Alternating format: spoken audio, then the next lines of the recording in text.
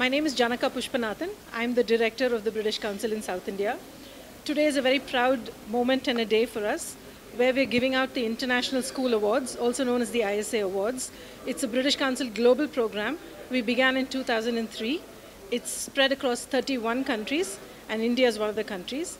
And in South India, we have about 850 schools so far that have received the ISA Awards. This year, 105 schools have qualified for the International School Award from South India, from all the five southern states, as well as from Puducherry.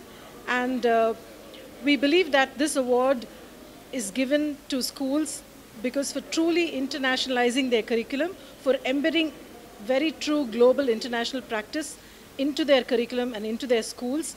So the teachers and the coordinators have given us some really brilliant feedback and it induces a lot of confidence in children. The school uh, scenario is very conducive for the uh, development of the award as well. And a lot of people work towards this award in the school.